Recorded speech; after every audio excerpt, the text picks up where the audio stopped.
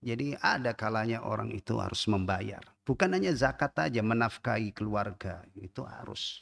Dan berbahagialah sekali lagi Rasulullah sudah mengkabarkan bahwa harta atau duit yang paling besar ganjarannya itu adalah yang untuk nafkahi keluarga. Adapun bab-bab lain misalnya bangun masjid, ikut andil ini dan itu tinggal lihat kantong kita. Kalau sudah habis untuk ngurus keluarga, pas istilahnya sudah. Berarti itu urusannya orang-orang yang berkelapangan rizki. Ya.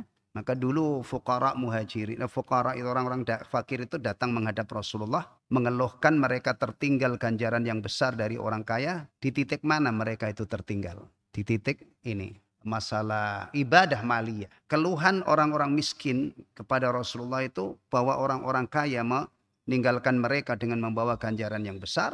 Mereka sholat seperti orang-orang miskin itu sholat, puasa.